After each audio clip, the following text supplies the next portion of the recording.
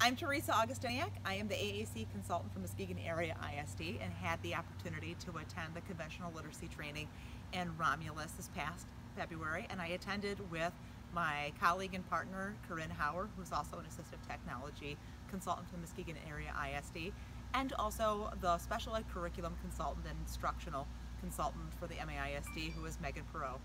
And having them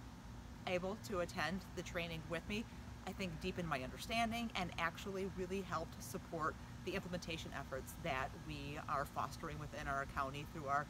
CI, our cognitively impaired uh, community of practice that also includes teachers of students with autism spectrum disorders and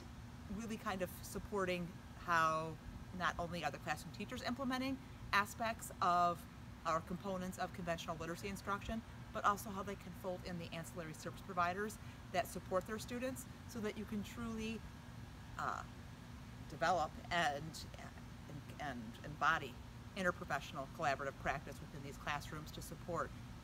conventional literacy instruction and then also to address the needs of students that have emergent literacy instruction in a thoughtful and systematic and inclusive way.